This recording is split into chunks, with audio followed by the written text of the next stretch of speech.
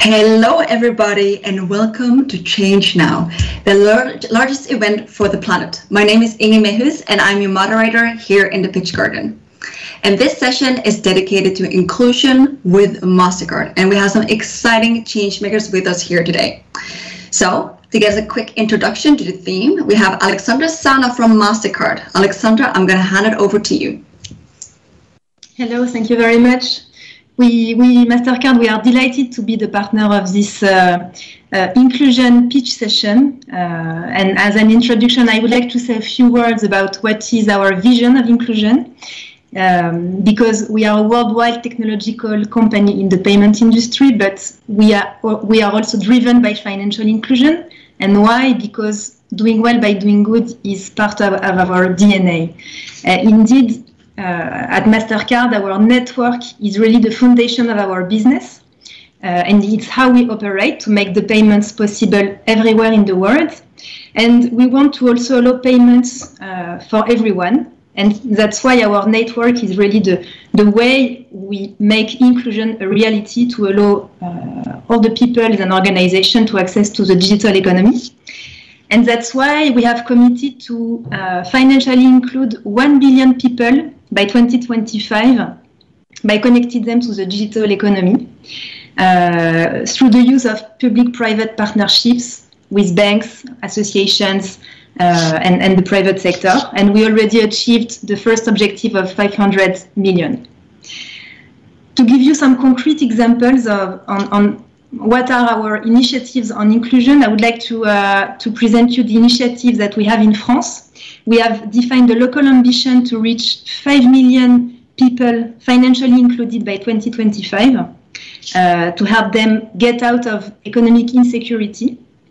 And we have built three inclusive programs uh, relying on education and awareness. And so, why education? Because we think that inclusion starts with education to, to fight, um, to, to, prevent future insecurity and to, to tackle the issue at the origin with education.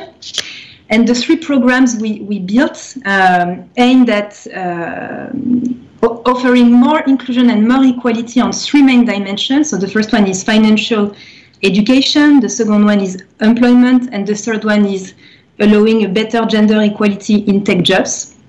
So the first one, uh, we designed a digital program with uh, our partner Cresus, a French association.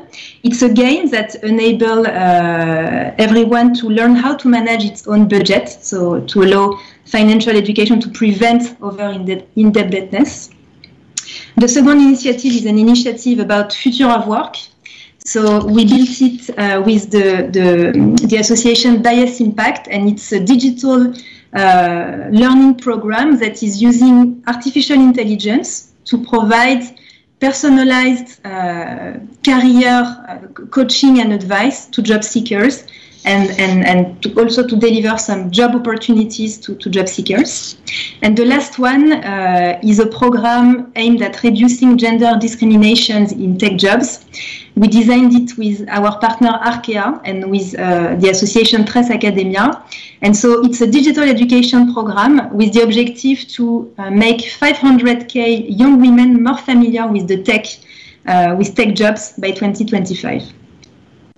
So I would like now maybe to share some uh, some insights and some advice with the, the, the, startups that are going to pitch their uh, their solutions. Uh, so our experience in inclusion make us think that there are several key success factors when we, uh, we, we launch projects in inclusion. So we believe that the, the, the dimensions that are key are first the, the partnership dimension, so the fact the, to be able to bring different expertise and to combine different partners in a collab collaborative approach. And so we at MasterCard, uh, we, we worked with our banks as dis distribution partners, we are working with associations that bring the expertise and the content uh, on inclusion. And we, MasterCard, we bring the, the, financial resources and, and the scale of our network. We also think that digital is key because digital brings the scale to inclusion projects. Of course, innovation is a key, uh, is a key element uh, to, to bring uh, so agility and innovation to, to bring value to the to, to, to, to, the, to the market, and that education, again, uh, is a key aspect to, to consider to tackle the issue at the origin. Um, and, I, and I would like to conclude uh, to, to wish best of luck to the, to the startups that are going to pitch now. Thank you very much. Wonderful, Alexandra. Thank you so much. We have a lot of exciting pictures to cover. Uh, and we're going to dig into that in a moment. But first, we also want to introduce our wonderful panel. So I'm going to give the word one by one, and everybody going to get about 30 seconds to introduce themselves. And I'm going to start with Ryan Gersava. Over to you, Ryan. Good evening from the Philippines. My name is Ryan. I'm an Ashoka Fellow and founder of Virtualahan, an impact-driven company that equips persons with disabilities, recovering drug addicts, and other excluded communities with skills and mindset to work in the digital economy while helping organizations like UN agencies and Microsoft implement their diversity and inclusion initiatives, all working together to build a future of work that lives on Fantastic. Thank you, Ryan. And then over to Daniel Blake. Hi, yes, this is Daniel. Um, I'm at University Impact, and we are an early stage impact investment fund uh, that's focused on uh, helping to bring more capital to the, the pioneer gap. Thank you, Daniel. And then over to Adriana Freitas. Hi, uh, thank you, Ingrid, and and uh, thank you, Alessandra, for the initiative on putting this panel together. Uh, my name is Adriana Freitas. I am in Barcelona. Uh, uh, I'm I'm the GP from like a, a, an impact pre-seed fund uh, that invests in European startups. what we call like solving critical problems. we we have an ecosystem of experts to work with us. We, we invest in sustainability, education, healthcare, and what is called social tech, what, what we see this, this type of uh, startups that we're going to see today. Uh, we target Europe with the focus on Spain and Portugal. And uh, we, we are, again, we are in the pre-seed and seed stage. Uh, any startups that want to come to the market of Spain or interested, like, uh, please contact me. And uh, success for all the startups pitching today. Fantastic, thank you. And we have Judith Laura Mamu Mani. Hi everyone. Um, I'm an impact fund manager. I work uh, for the um, impact fund of Maif. Maif is a major French insurance company that has adopted uh, the French legal framework as entreprise à mission, uh, which is a mission-driven company um, the Impact Fund um, invests in seed and Series um, rounds. We focus on companies that are dedicated to tackle the most pressing social and environmental challenges. Um, and we focus on companies that can prove uh, this measurable social impact. Uh, we target France so far um, and uh, maybe uh, Europe if you have projects in Europe and we invest in uh, in many activities, uh, but mainly in education and um, circular economy and uh, everything that has a very strong impact. And I'm very happy to to be with you today. Fantastic. Thank you so much. All right. I think we're ready to get inspired. So let's dig into the pitches. We're going to start with Adam Boudouin, who comes from a lesson of. Adam, I'm going to hand it over to you. Hi, everyone.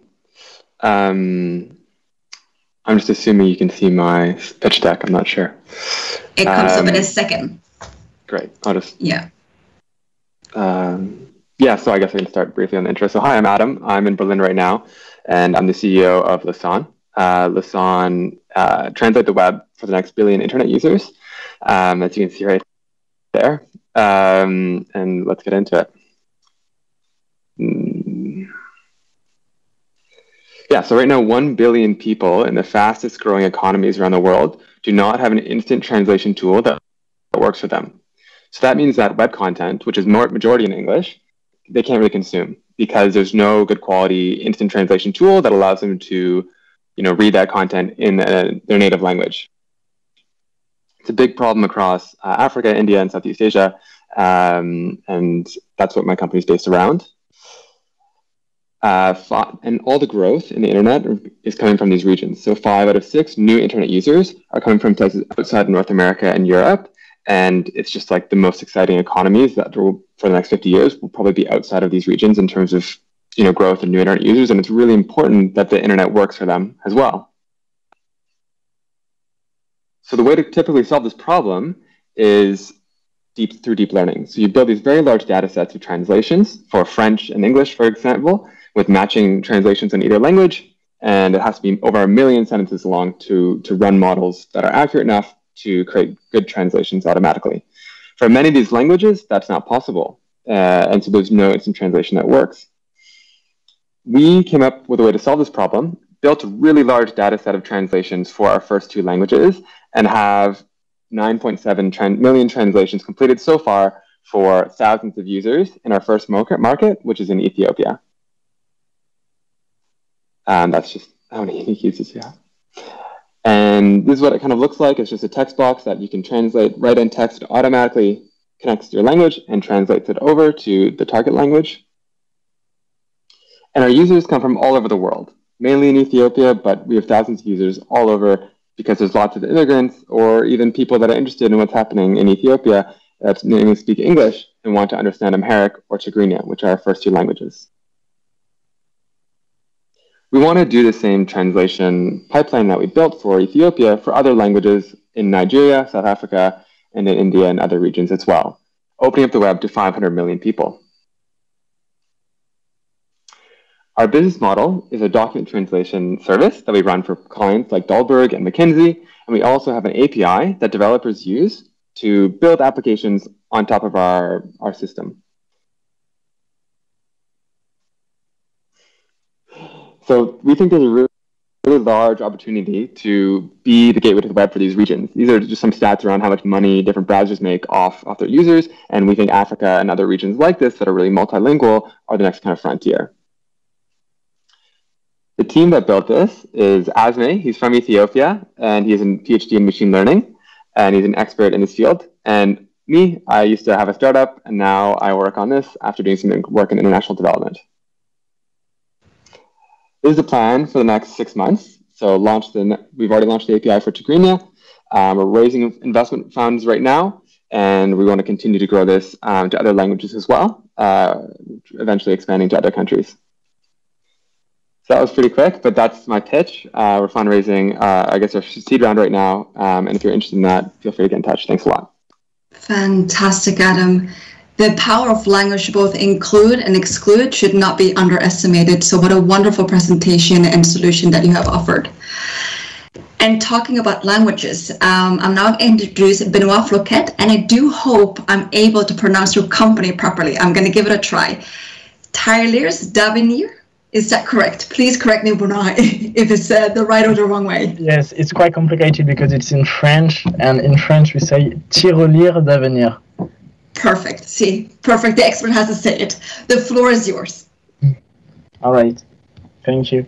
So I'm uh, Benoit, the co-founder of Tirelire d'avenir, which is like a piggy bank for the future. Uh, we aim at helping young adults who suffer from uh, a lack of family support and who might end up in the streets. Um, so to begin with, uh, we have to know that in order to help people and young adults who suffer from family lack of family support, there are four main uh, aspects: the accommodation, the social accompaniment to help them with uh, the administrative task and uh, how they can find their way in the social and the work world. And we have also two uh, main aspects, which is financial support and also the inclusive social connection, that is to say, connect with other young people.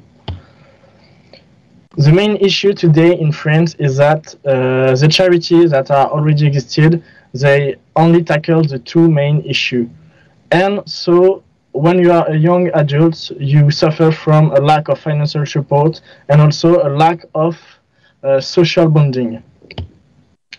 That's why at Tirelire d'avenir we created a partnership with other charities who offer the, the accommodation and the social support, and we give to uh, the young adults we help a financial support which is unconditional and which is tailor-made. That is, we answer the need of uh, the young adults. We also offer uh, to create pairs of young people in order to discover new adults and also a lot of different experience.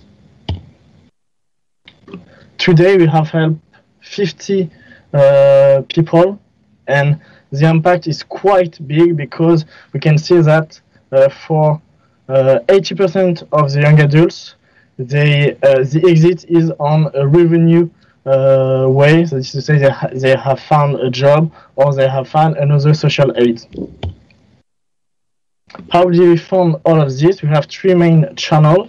We put some micro donations Uh, in uh, small shops. We have also uh, the ability to raise money on uh, our digital networks. And the last one is through partnership with corporation we have a lot of partnership and the one the major one is with lydia a new bank which enable us to give card and a bank account to our young adults which are not eligible for a bank account in the traditional uh, system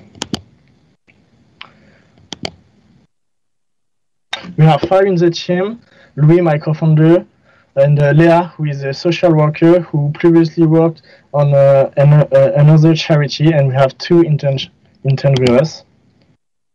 And the idea for this year is to help 100 young adults and also to start supporting people who are all uh, who are still in the street and to help them get out of the street.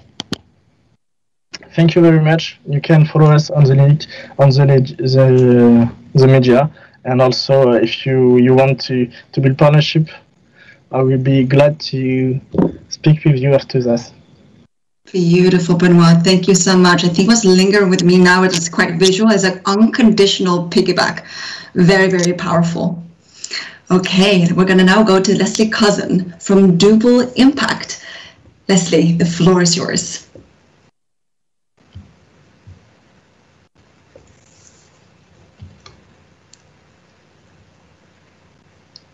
Hmm.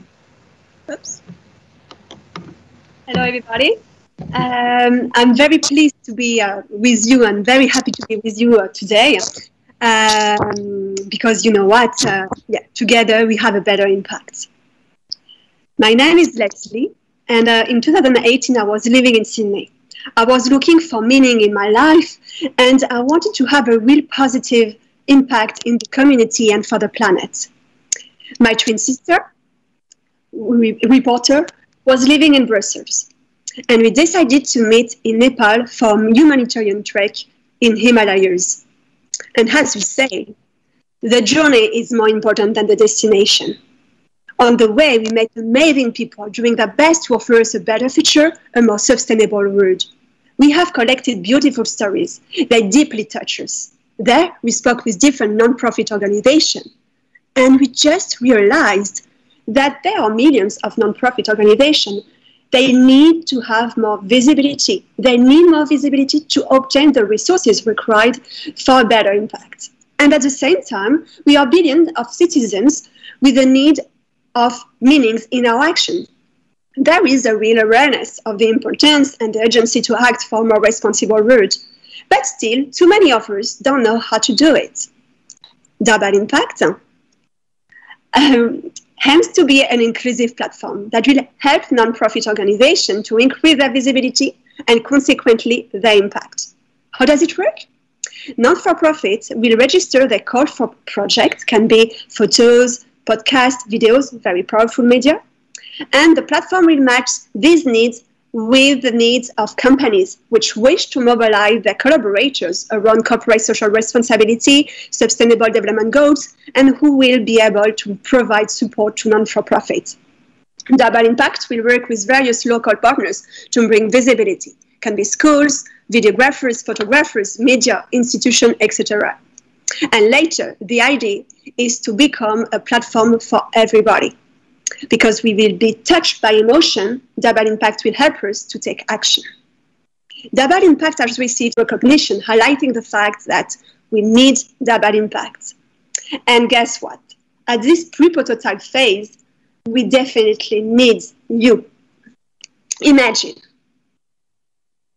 Imagine, yeah, imagine. Imagine all the people.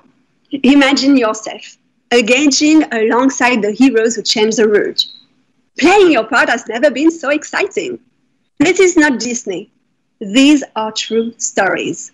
An inspiring community of impactors is being formed to build an inspiring future.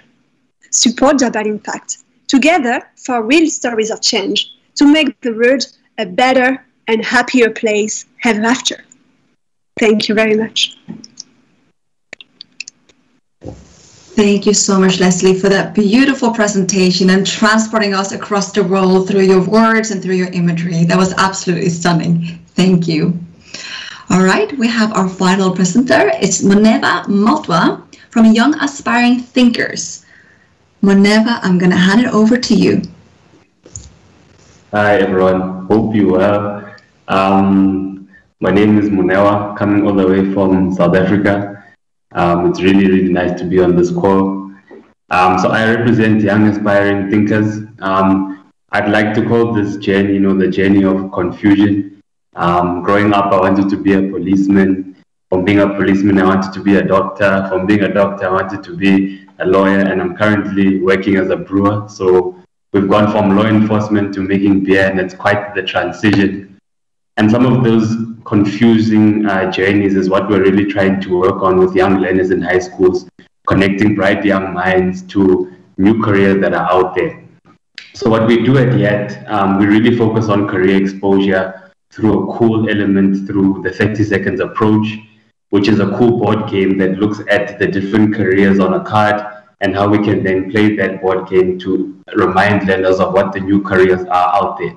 We then funnel learners into a Illuminate program, which focuses on four aspects, which is the self-discovery aspect.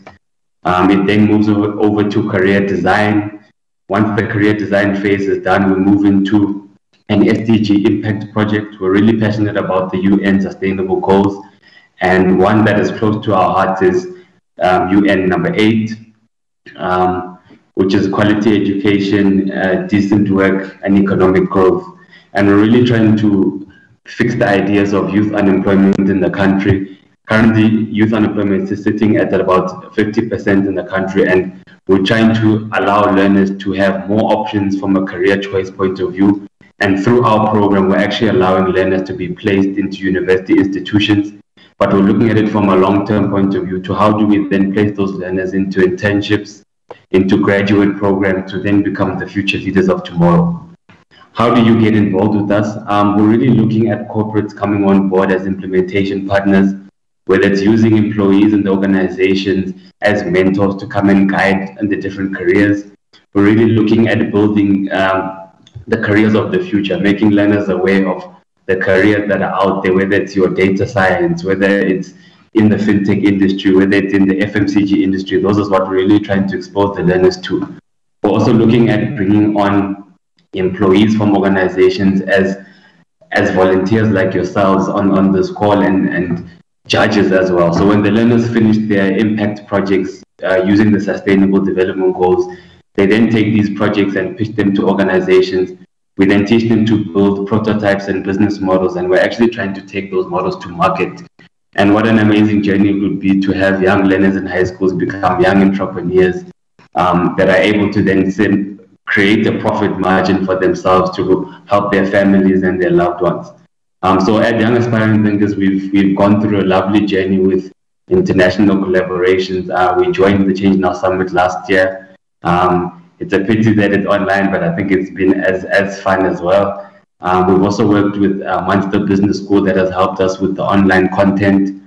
And we've also joined the um, Impact Project from the United States that has helped us reach undergraduate students and MBA students who have come on board to help us with solutions to improve the journey.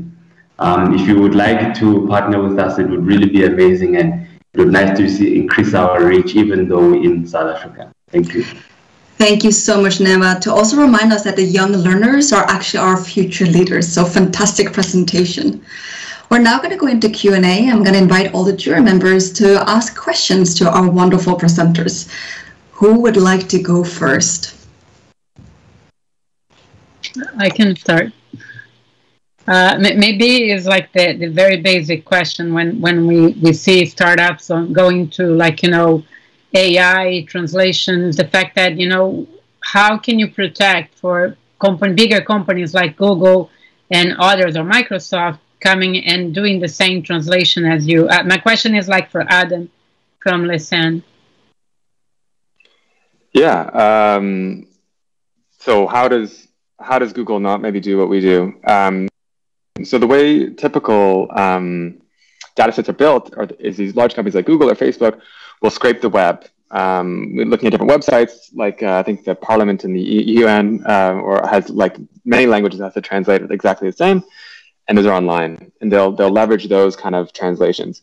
And what we have done is set up a team in Ethiopia, which is different than those other players, and that you know we have many annotators and translators on the ground in Addis Ababa for example, um, annotating translations, creating translations with different customers. Um, we really have like an on-ground presence. We do mm-hmm. still leverage all the stuff that's online, but that on-ground presence is what's really different from the larger kind of players. And we think they're just poorly positioned in California to kind of solve the problems that are um, on the ground in these regions. For sure. Thank you. Any other questions? Yeah, yes. this is Daniel. Or sorry, go go ahead. Go ahead, it's fine. Um, so for uh, young inspiring thinkers, I thought it was a, a fascinating uh, presentation. Really, really enjoyed it. Um, comparing that to you know perhaps Adam's solution, where you can easily see that the scale, um, you know that that can be had with technology um, you know, impacting lots of people. I'm curious if, if you can speak to, um, you know, where, where your uh, solution requires much more personal interaction, um, how you would scale that to impact as many youth as possible in South Africa. Yeah, thank you. Thank you for the question. What we're currently actually working on, we have a project with an organization here at home, and we're currently facilitating about um, 500 learners um, who are currently in high school. And I think COVID has really taught us to to really challenge how how do we scale this kind of approach, um, taking into consideration the safety aspects. And I think we've come up with um, cool ways for mentors to come into the Illuminate program, as we call it, as mentors. Um, mentors eh, eh, across the scope are actually doing what five minute videos explaining their careers, explaining their journey, and really being honest about their dislikes and likes about where, where they are currently. And I think through these videos, we've been able to play that um, simultaneously in different classrooms, adhering to social distancing. And I think that's what has helped us scale. I think what the missing link is to really run this program in the different provinces at home um, at the same time. So currently we're working in Johannesburg, I've worked in Durban, I've worked in Pretoria, I've worked in Limpopo, and what we really want to do is to scale that to the other provinces because we've seen a genuine improvement in learners' critical thinking skills, their leadership capabilities through this program. And I think we'd be doing ourselves a very big disservice if we didn't scale this. Um, so we really are trying to get uh, corporates involved, whether it's funding laptops, whether it's funding cell phones for learners to be engaged, currently what we're using in, in-house in the classrooms is, you know, projectors in the different classrooms to then show those mentor videos. Um, and I think more long term is to really develop tech labs at the schools. So there's a really poor um, access in terms of technology at the high schools that we work in. And I think what we want to do five um, within the next five years is really build those tech labs at the school and have those programs running simultaneously. I hope I answered your question. Yeah, no, thank you. Wonderful. I think that we have time for one more question. And Judy Laure, you had a question, I believe. Yes, I had a question for uh, Benoit. Uh, I think the, um, the project and the idea is very interesting. Uh, and we know that uh, young adults with, who are too old to be uh, protected as children and too young to uh, be completely independent in life. Um, I mean, it, it's a very um, risky um, time in life. But um, as an investment uh, fund, we always focus on the uh, revenue streams. Uh, so I was wondering um, what what revenue streams do you think will be um, would you do in your project? I'm not I'm not sure if uh, if it's a project or if it's actually um, a company. So um, nowadays it's a project, it's a, a charity. Uh, we are thinking about um, creating a company because we have different revenue stream. So the idea is is that we have the capacity to raise funds in order to finance our young adults. And uh, we want people to uh, remunerate the fact that we are able to do this. Uh, one way is uh, to uh, develop corporate partnership because uh, next to the financial aid, we have also a social link program which is there in order to create social bondings and connections between young adults who doesn't have the habit to exchange between one another. So the idea is to propose to to give this uh, project to big corporations in order to engage their young employees and to give them some sense because the fact of um, of being in a close relationship with a young adult who suffer from a lack of family support who has a big experience uh, is very very uh, motivating. And so the idea is to get this partnership incoming. We have a, a few few companies who are interested. Great, thank you so much. Unfortunately, this marks the end of our session, but not in terms of connecting. I am sure a lot of you have plenty of more questions, so go to the link in the chat where you can continue networking and getting to know each other and learn much more about each other's uh, ventures. So I just want to thank all of you changemakers, jury member, and MasterCard for your dedication to inclusion, such important work. And thank you all of you who've been tuning in from all around the world. I hope you leave this session more inspired and ready for change now. Have a great day. Bye.